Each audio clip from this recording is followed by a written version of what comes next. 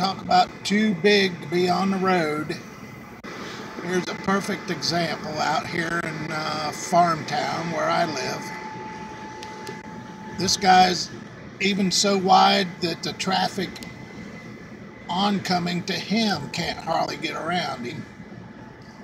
And uh, he's running about 25 mile an hour and upholding traffic behind him. And I know it's petty stuff, but it's like I got to get to work and I'm stuck behind this guy. I can't even pass him.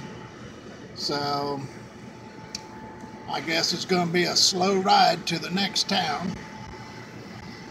Um, I guess I don't have nothing else to complain about because the day is absolutely beautiful.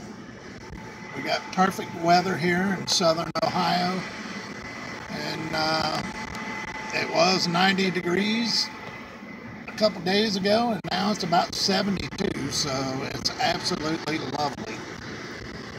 I guess I'll catch you on the next video, and uh, I'm going to have to follow this combine or whatever it is here to the next town, so see you folks.